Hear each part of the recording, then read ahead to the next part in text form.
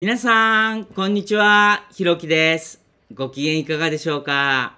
私は元気です。さてさて、生成 AI で遊ぼうのコーナーです。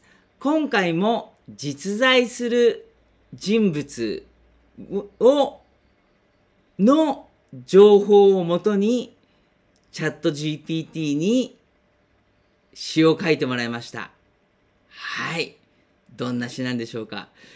最近出会って最近もう縁を切った人なんですけどね。てか縁を切ったというか勝手に縁が離れた離れていった人なんですけどね。はい。では詩を読み上げます。私は金よりもふるさとを愛した男。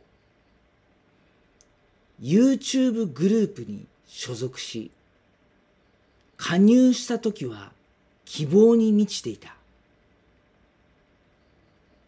リーダーは裕福な印象を受けたが、私は金持ちになるつもりはなかった。ただ、お金を使ってクリエイティブなコンテンツを作りたかったのだ。彼は株主優待で買い物をする裕福な資産家。何かを共有してくれると期待していたが実際は何も与えてくれなかった。そのかけた絆が私の心に不満を残し YouTube グループから去る決断を下した。後になって気づく。金持ちはケチであるという言葉の真実を。大切なのはお金ではなく心の豊かさと人との絆だということを。私は財産よりも心の富を求め新たな道を歩む。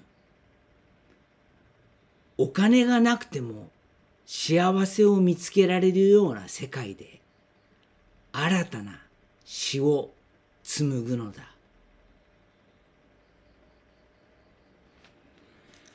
以上でございます。いかがでしたでしょうか？なんとなくストーリー見えてきましたでしょうか？はい。